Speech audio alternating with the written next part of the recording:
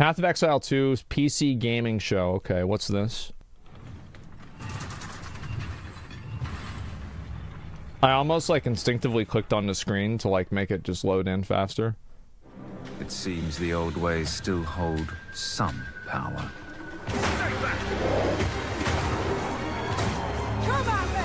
Oh. This is a lot of the gameplay. We've seen this before.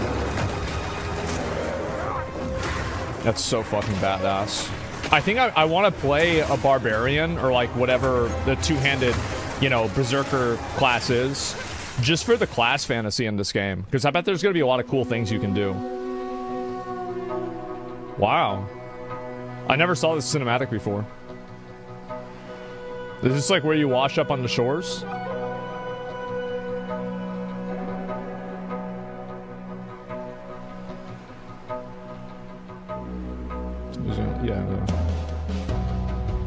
It's a Karui.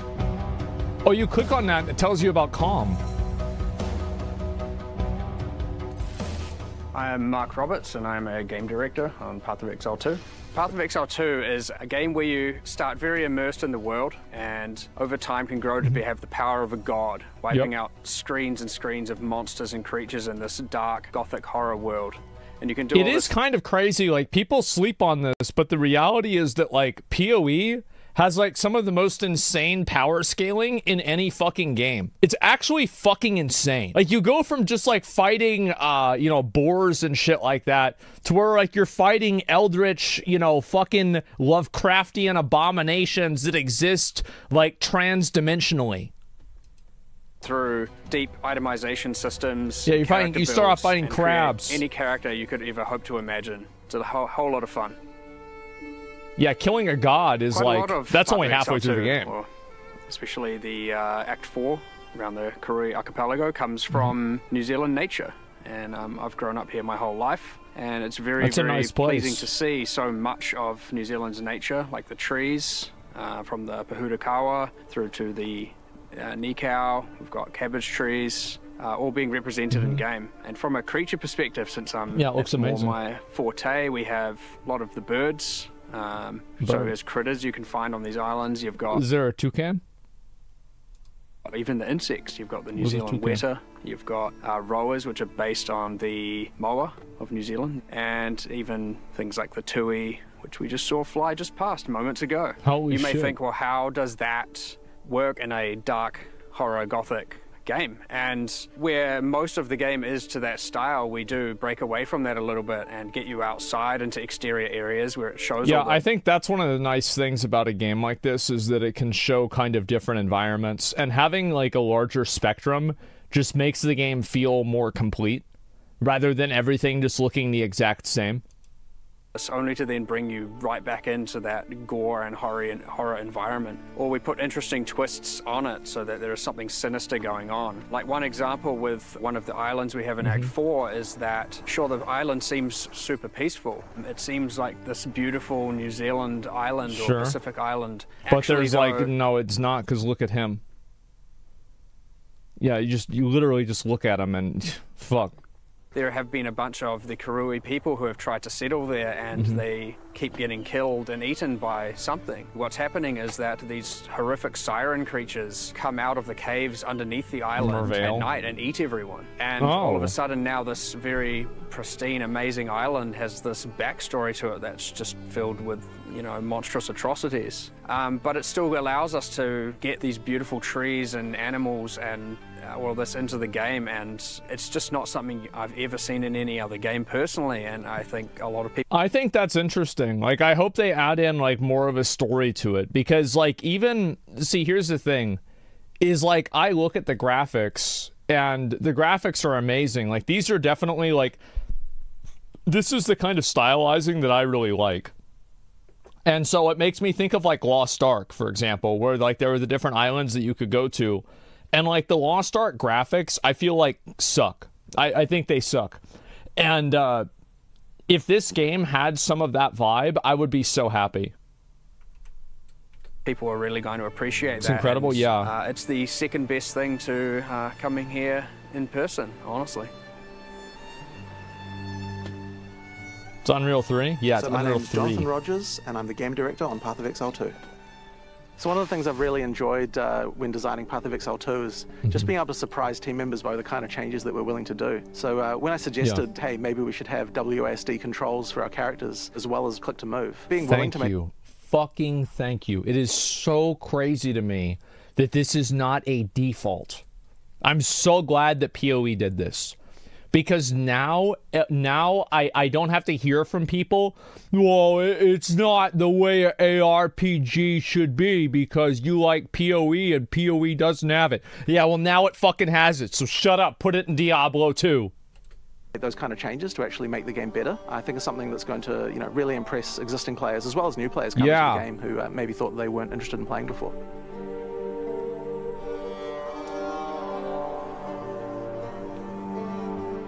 Diablo 2, Diablo 4 2. Looks really nice, man. That's a really nice fucking place. Holy shit.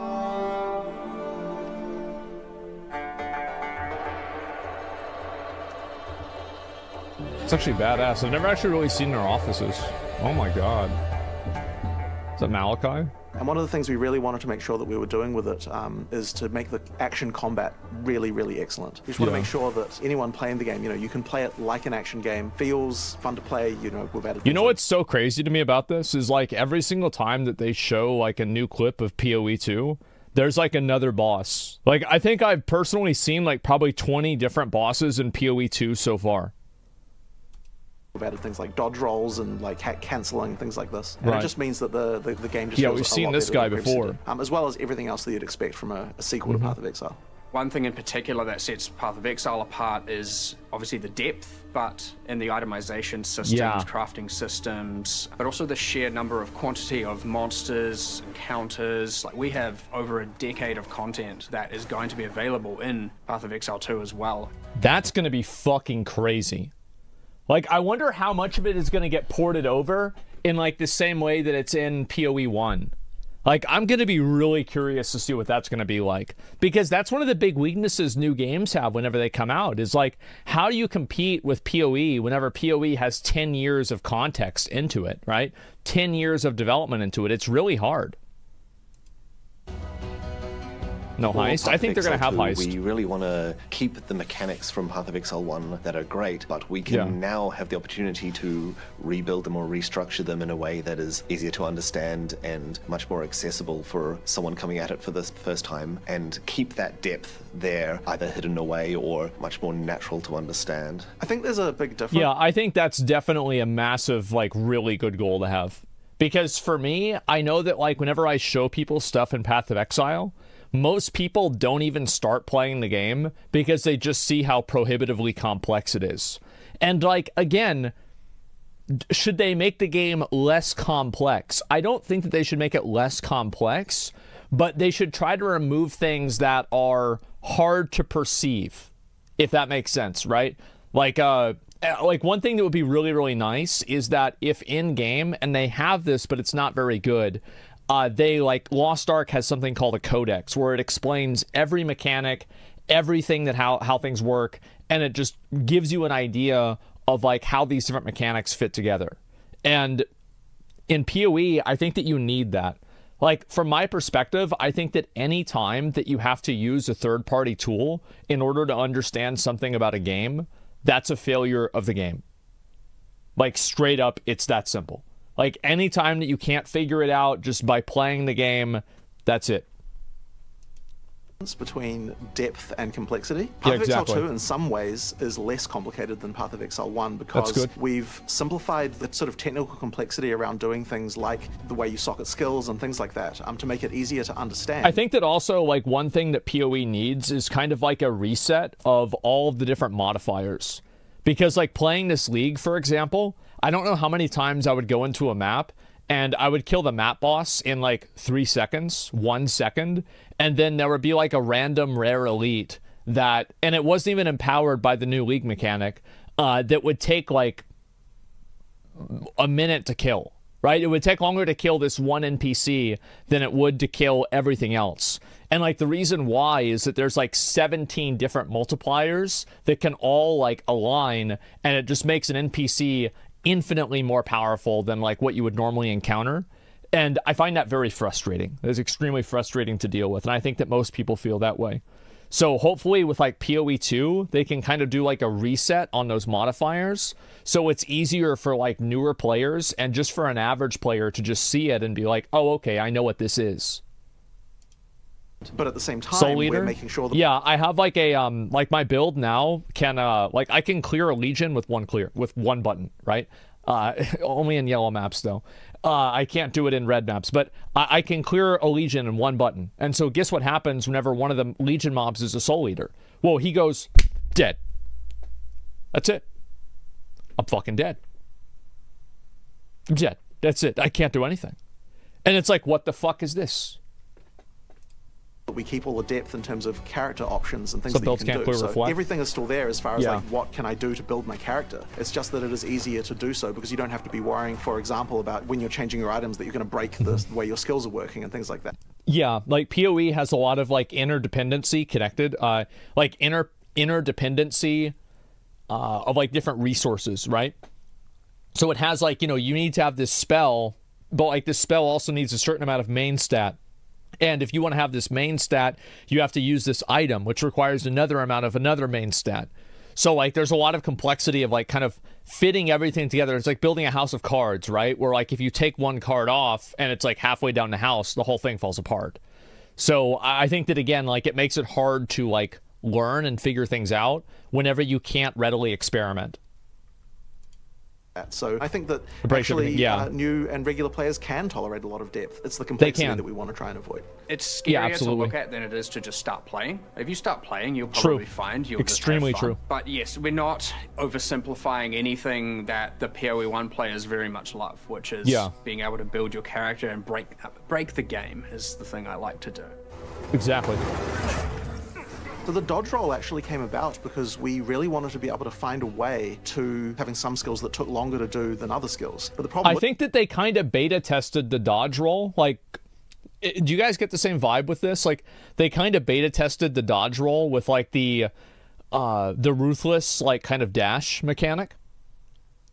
Because like a- after ruthless, I think they they were like trying it out. Yeah, and, and like now they because I use the dash mechanic sometimes, and it's like yeah, it was good. That is that skills feel really terrible if you start them and then you can't get out of them. So we really Mm-hmm. Yeah, needed a way to make that locks. interruption be possible, and uh, the dodge roll was a really great way to do it.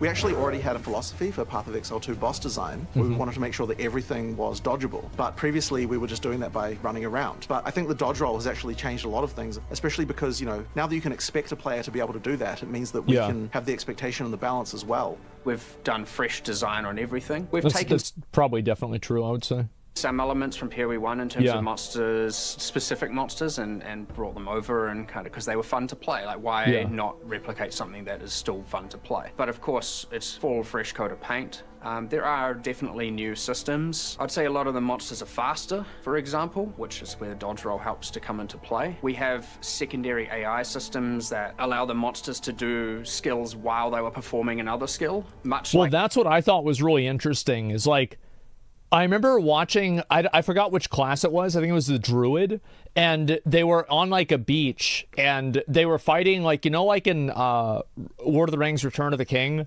There was like a guy, like the uh, the elephants with the guys on them, right? Like the uh, whatever the fuck they were, Haradrim or not Haradrim, whatever the fuck.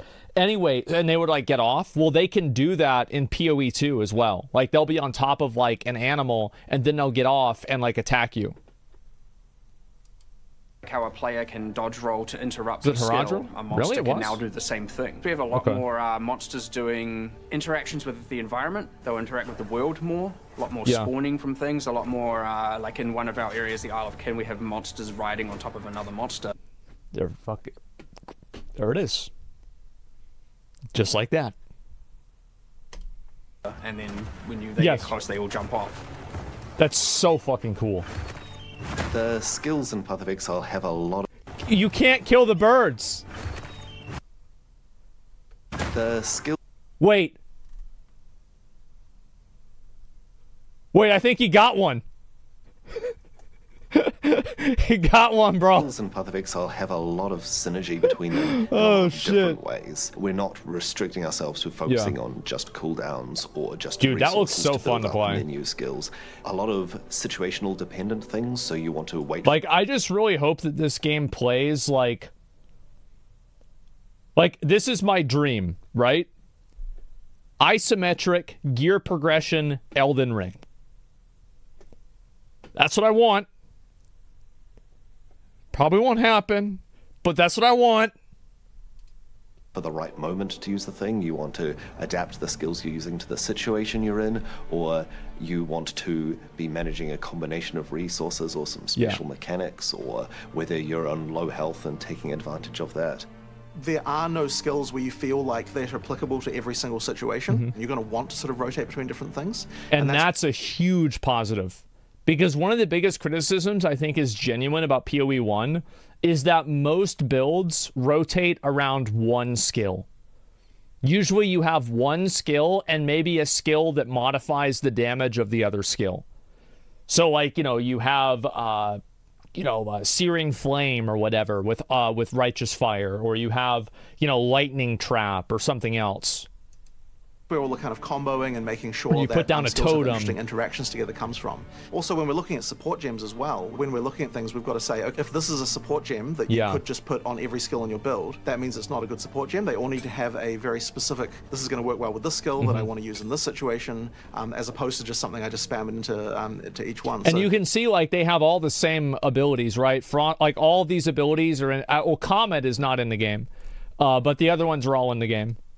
There's a lot of design changes that have had to gone on to take into account the way that the new skill system works. Um, but I mean, and you just- can see also like and you've seen the uh, the evolution of a lot of these like different uh, abilities and mechanics because if you go back and you compare like even Malachai was not added into the game until like I think the release of, of Path of Exile.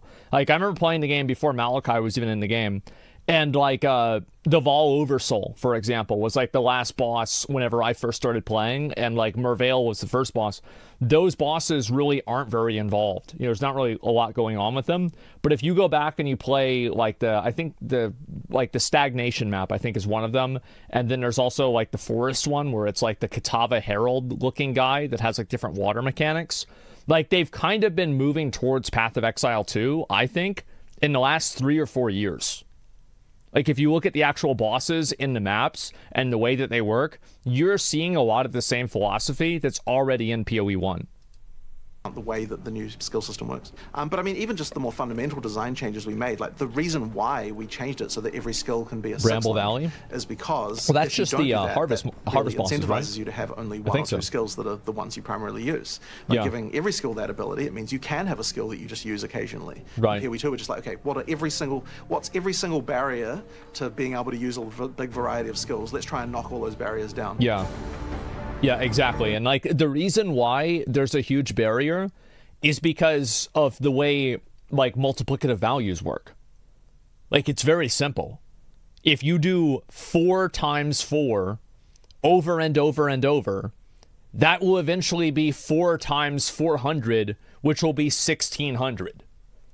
So, like, whenever you're looking at multiplicative scaling, you can't even compare that. Like, something can be plus 4% multiplicatively, or four times multiplicatively. That would actually be better than something that's t- 10x or 20x additively.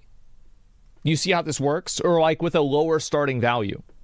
So it just becomes better to put all of your points into one thing because that way you have all the multipliers working against each other. Like there's a whole and, and like it's very complicated. Like there's like a whole program that you have to download in order to uh in order to understand the game. Right? On like that level, it's called Path of Building. And I think that as we approach each different character class, we're Yeah. thinking like, how can we make the skills here feel so different than every other class? So with something like the mercenary now, we're developing how crossbows should work. We kind of really looked at that and thought, okay, Yeah. how can we make crossbows just feel completely different than bows? You know, if you look at Exactly. the shooters like pistols and, and shotguns and things like that, like uh, what, what about those makes them different from each other? Yeah. And so therefore it makes the whole experience just feel so different than what a bow feels like now. You know, you want that like pull the trigger and it instantly fires, you know, that kind Yeah. of instant response type of thing. And I think that as we approach each different character class, we're thinking like, like, how can we make the skills here feel so different than every other class? Every weapon type really feels like a completely different. And like you compare that with WoW, where like a crossbow and a bow are the exact same thing. A crossbow, a bow, and a gun in WoW do the exact same thing. They play the exact same way, and they're just different types of cosmetics. Whereas, like in PoE, that's not going to be the case. PoE 2, that's not going to be the case. Also with Valheim, right? Like shooting the bow versus shooting the Mistlands crossbow, very different situation. And I think that's a good thing playstyle. It's got a different feel to it. Mm-hmm. It's sometimes even got a different way of how very difficult to balance. Yeah, it is. The controls or the skill system or the game mechanics themselves. And the really cool part is that you can mix and match them by having two different weapons and swap between two different playstyles. Uh, combine these things because they're all gems. Yeah. They're never class locked. Even though each class has its built-in feel, it has the ability to change it up and mix it up and combine the mechanics in some ways that we haven't even predicted yet for each class, it's back to basics. Um, you know, like let's actually think about what makes this class fun to play, what kind of mm-hmm. issues the players have, what annoys them, what can we do to address those kinds of concerns and make the gameplay just a lot better. Yeah, like for me, things that I would want to see in PoE 2, um, I would really like to see. I mean, I'd like numbers, right? They're never going to do that, but I would like to have numbers and see what my damage is because I think that like if you have numbers, it's easier for you to like just easily benchmark yourself and say I'm doing more damage than I was. Maybe also like a target dummy would be really nice so you could kind of compare like what's my damage with and without this. Like even if it's not numbers, I'd like a target dummy. A death recap I don't think would matter because there's so many other variables that would happen. So uh also I think that like less less things that can multiply against each other inside of fighting like rares. Because I just think it's stupid that sometimes you go up against a rare and it takes like 10 times longer than the map boss and it's 10 times more powerful. Like i, I don't think that's it's like weird design. I don't like it. And uh, there's that and then also being able to use multiple abilities at the same time in a build without feeling like you're gimping yourself. Uh, that's a build issue. Um every problem can be solved with more damage but every problem shouldn't be a problem. Sometimes there are problems that it's like oh i think the game would would play better if it didn't have this problem My personal favorite of the classes is definitely the Huntress because her spear mm-hmm. gameplay is a real fun mix of situational things of right now I want to be up close, now I want to get away and hit them with some spears from range. I think really the monk has been my favorite one, and I think the reason why is because it's the first class where we I think we really nailed the kind of new feel of combat. We put a lot of effort into making sure that it feels fast. You're going yeah. in and out of combat. There's a lot going on. It just felt so different than what we've done before. It might actually be the brute. Mostly that's because how it feels to play against bosses for me. I really wish that like with the uh, with a two handed uh, melee spec, I hope they add in a warrior build that plays like a uh, BDO awakening uh, warrior. Like with the charges and like the spears and like the whirlwinds and shit like that. Like I would love if they could add that in. That is like, in my opinion, that is like fucking peak warrior fantasy a very, very clean set of combos that are just very fun and satisfying to execute. Mm-hmm. It's the armor break, armor break, armor break, and then you get to, depending on the situation, decide how am I going to utilize this armor break. Am I going to leap in and do yeah. a stun? And if so, a heavy stun, and then the heavy. So they have that. That's the, you know what that reminds me of. It reminds me of like Monster Hunter, where like I'll see these clips of like Monster Hunter, where it's like a guy that's like just holding a sling for like 30 seconds and then like some boss does this crazy weird fucking thing and his head lands right in front of the guy and he just goes bonk. And then it's dead. Armor break. Am i going to leap in and do a it's a great sword yeah. And if so a heavy stun and then the heavy stun goes off and then i get to now decide okay mm-hmm. how am i going to utilize that heavy stun and so you're getting these moments where it's just you're, you're yeah. setting up a situation that could fork into multiple situations of choice, which can fork into multiple more situations of choice. Either way, it's, it's sure. very fun and very satisfying. For those who are wishing to join us for Path of Exile mm -hmm. 2, visit our website at pathofexile2.com, right? wishlist us on Steam, yeah. and I'm looking forward for you to join us playing the beta in 2024. Yeah, they said originally that the beta is going to be out in like June or July. I forgot which one. The old magics, not to be feared, but to be extinguished. Yeah, this is great. I'm so fucking excited for this game. I think that like for 2024, this is the game that I'm most excited for. Like I, I I'm not sure that there's any other game that I'm more excited for than this. I guess Dragon's Dogma 2. Yeah, there's that. I'm also really excited for that one. Wukong. Yeah, you're right. Like, we're going to have a lot of good games that come out in 2024. So that's fucking amazing. But, uh, yeah. Uh, this game's going to cost a fortune. Uh, yeah, well, it's a free game, so of course it's going to cost a lot. Uh, free to play and no pay to win. Yeah. People are saying no numbers, no target dummy, being disingenuous. Most people spend the time inside a POB. I, I think that having a target dummy in the game would just make things easier, right? And again, like, how can you benchmark your damage if you don't have a lot of tools to do that? Like, I, I don't know. I think that having a target dummy would just be good, right? Why not? Why not have it? Now, I think also like having some sort of like guild housing or something like that would be kind of cool. I'd also like if there was a open space area. You know how like in Oriath back in the day, you would go into Oriath and you'd see other actual players. I really liked that.